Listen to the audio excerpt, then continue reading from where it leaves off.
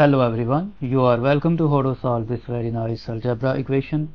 x plus 1 times x plus 2 times x plus 3 times x plus 4 is equal to 120.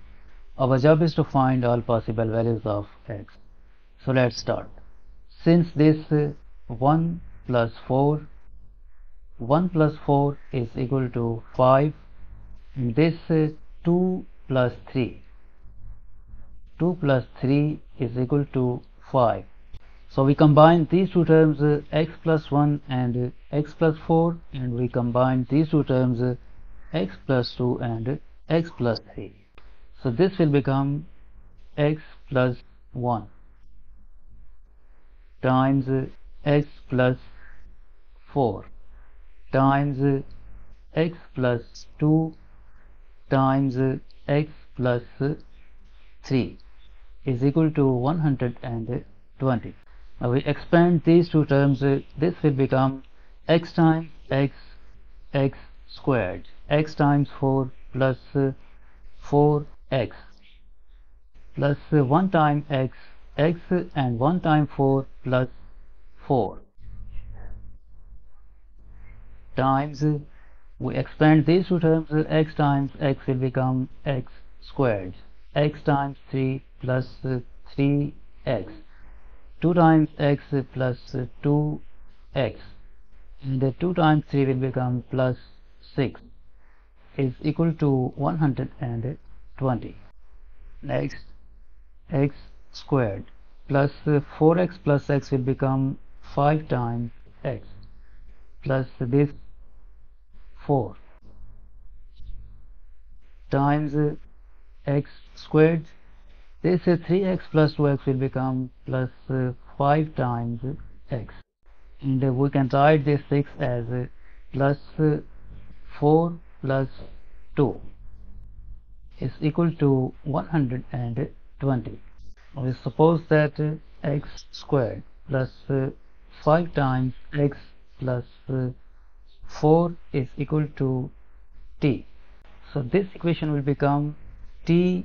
times t plus 2 is equal to 120 now this t times t will become t squared and t times 2 plus 2t is equal to 120 move this uh, 120 to the left hand side this will become t squared plus 2 times t minus 120 is equal to 0 and this is a quadratic equation and is factorable. We write this t squared and we split this 2 times t as negative 10 times t plus 12 times t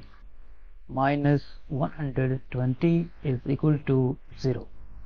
from these two terms uh, we can factor out t. In bracket left t minus 10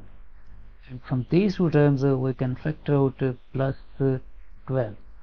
in bracket left t minus 10 is equal to 0 and this t minus 10 is a common factor so we factor out this uh, t minus 10 and uh, in bracket left t plus 12 is equal to 0 and from here either this expression t minus 10 is equal to 0 or this expression t plus 12 is equal to 0 from this equation we get the value of t is equal to 10 and uh, from this equation we get the value of t is equal to negative 12 now recall that we have supposed we have supposed that x squared plus 5x uh, plus 4 is equal to t. We have supposed that x squared uh, 5 times x plus 4 is equal to t. 70 is equal to 10 then this equation will become x squared plus uh, 5 times x plus uh, 4 is equal to 10 and when t is equal to negative 12 then this equation will become x squared plus uh, 5 times x plus uh, 4 is equal to negative 12 now from this equation we move this uh, 10 to the left hand side. So this will become x squared plus uh, 5 times x plus uh, 4 minus 10 is equal to 0 and uh, x squared plus 5 times x this 4 minus 10 will become negative 6 is equal to 0 and this is a quadratic equation and is factorable. We write this uh, x squared. We split this uh, 5 times x as uh, plus, 6 times x minus x. Minus 6 is equal to 0 from these two terms we can factor out x. In bracket left x plus 6 and from these two terms we can factor out negative 1 in bracket left x plus 6 is equal to 0 now this x plus 6 is a common factor so we factor out this uh, x plus uh, 6 and uh, in bracket left uh, this x this negative 1 in bracket left uh, x minus 1 is equal to 0 from here either this expression x uh, 6 is equal to 0 or this expression x minus 1 is equal to 0 from this equation we get the value of x is equal to negative 6 from this equation we get the value of x is equal to 1 now from the second equation we move this uh, negative 12 to the left hand side. So this will become x squared plus uh, 5 times x plus, uh, 4 plus 12 is equal to 0 and x squared plus, uh, 5 times x 4 plus 12 will become plus 16 is equal to 0 this quadratic equation is not factorable so we solve it by quadratic formula. In this equation we have a is equal to 1 and b is equal to 5 and c is equal to 16 and uh, according to quadratic formula x is equal to negative b is 5 plus minus the square root of in place of b squared we write uh, 5 squared minus 4 times a is 1 times c is 16 divided by 2 times a is 1 and x is equal to negative 5 plus minus square root of this 5 squared is uh, 25 negative 4 times 1 times 16 will become negative 64 divided by 2 times 1 2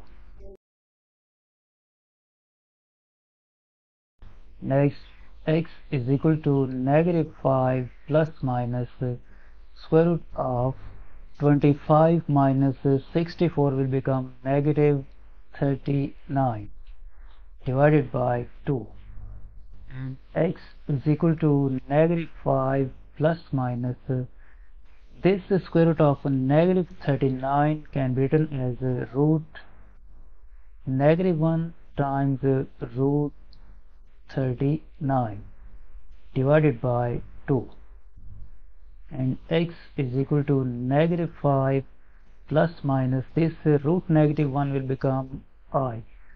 times uh, root 39 divided by 2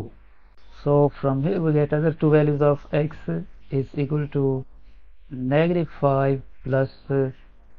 i times root 39 over 2 and x is equal to negative 5 minus i times root 39 divided by 2 and first we found the value of x1 x is equal to 1 and negative 6 x is equal to negative 6 so we have uh, four solutions of this equation 1 negative 6 negative 5 plus i times the root 39 over 2 and negative 5 minus i times root 39 over 2